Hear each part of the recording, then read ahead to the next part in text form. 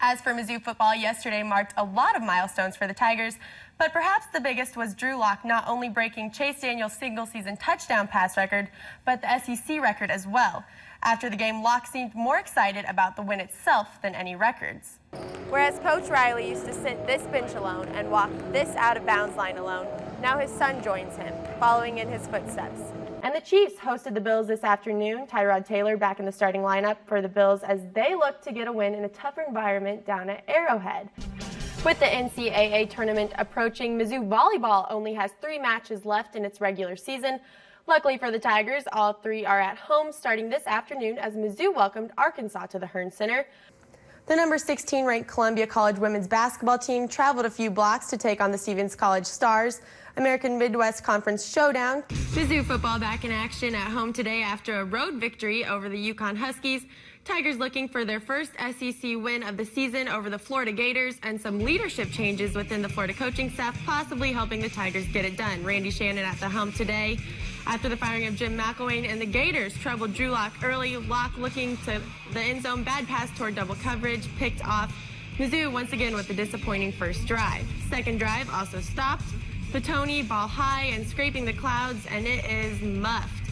Anthony Sherrils recovers the ball, and the Tigers are in business. And Lock capitalizes, throws into single coverage this time, and a great catch by Kendall Blanton for the five-yard touchdown. Tigers up 7-0. Take another look here. Great job getting that foot down. And it wasn't just the passing game working for Mizzou today.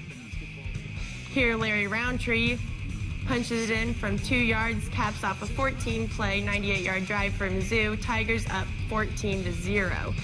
Running backs even good through the air. Here, Lock finds an open-ish Witter touchdown catch, but also Lock's 57th touchdown pass, which moves him into second all-time ahead of Brad Smith. Only Chase Daniel left to beat. Welcome back, everyone. We will have the Play of the Week nominees in just a moment. But first, other high school sports for you. The softball and baseball fall seasons are really winding down almost, if you can believe that already. But a couple of teams used uh, one of their last games for a good cause. KOMU8's Erin Reynolds reports how Two teams from Glasgow rallied the community to raise money for a local cancer center. Along with the usual black and gold, there was pink everywhere at Gold Star Park in Glasgow, Missouri Tuesday night. The teams hosted their annual Pink Out game to raise awareness and funds for a local cancer center. It gives the kids some fun to look forward to, some fun for them to do. It makes them aware that life isn't always a bed of roses. Um, cancer affects everybody, and for one of the players, it has affected her quite a bit. My grandpa actually passed away from cancer, so it's like really impacted on me. Monning said she was excited for the Pink Out game in particular because it allows the community to come together to support a good cause.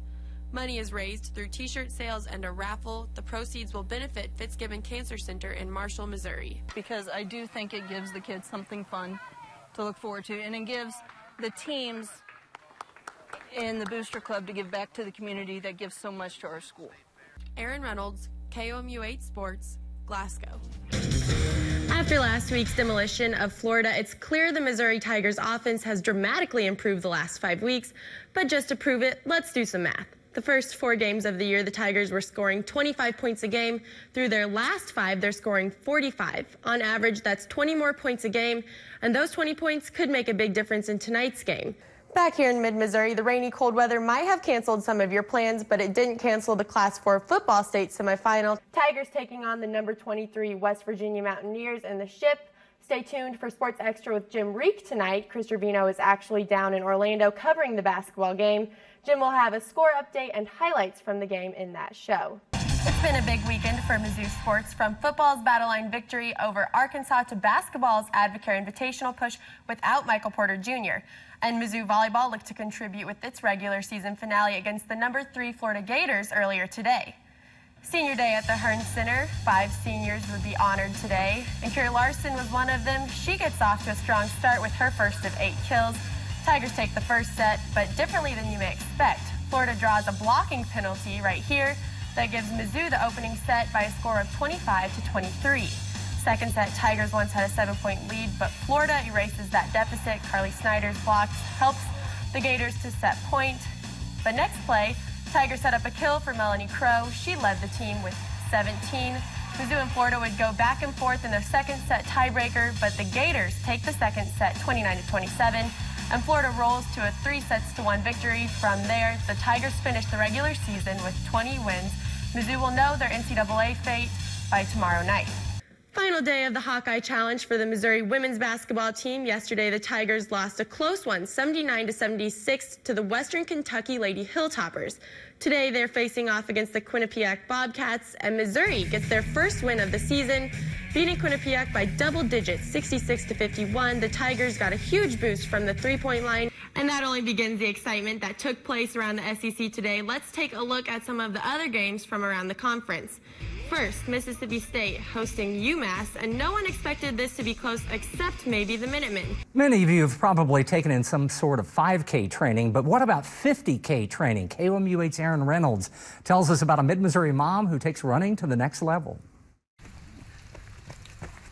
I really am addicted to the trail because it's like you're just in another world and you're able to just kind of let everything go. A couple of miles is nothing compared to the distances Kristen Walls runs. She takes marathons to the next level, racing in ultra marathons, which typically range anywhere from 50 kilometers to races that take multiple days to complete. I used to think people were crazy. Like, you're doing what? But then once you start doing it, and it's just, I don't know. It's just a crazy thing that takes over. It truly is. It's a lot of preparation. It's not just showing up on race day and saying, I'm going to run 50 miles. It's, it's months of preparing. But Walls says it's the mental barriers that are the hardest to overcome.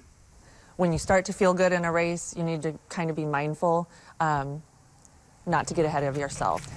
Because I think as a runner, sometimes these long distances, you can let your mind take over. Your body's going to start to hurt. That's just inevitable. So I think being mentally prepared is probably my biggest key. Best running partners ever, right here. And it's her family that helps her keep that mentality.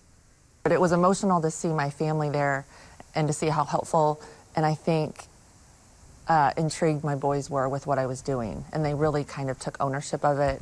Um, and I, I think it, it was just a proud moment as a mother to have my boys there. I've tried to never let it interfere with our family. So summertime is challenging when the boys are home. I don't want them to feel like, oh, mom's gone for five or six hours. I try to do it when they're at school. Some people may look at as narcissistic that I spend that much time, but I feel like I'm blessed with a capable body and I want to use it to the fullest potential. Coming off a bye week, the Kansas City Chiefs would look to regroup Sunday after dropping three of their past four games. No score in the first quarter, but here was one play that nearly broke it open. Eli Manning tosses it to Shane Vereen. He looks for the trick play pass, but it's intercepted by Daniel Sorensen. He brings it up about 20 yards.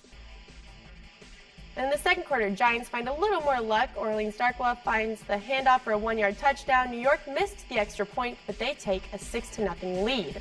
Fourth quarter, with one field goal, Harrison Butker collects another.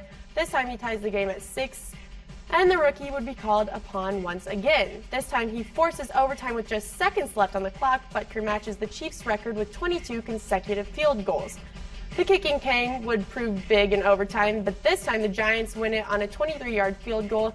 Chiefs fall in overtime 12 to 9. Despite the loss, Kansas City still leads their division by two games. And that's all for sports.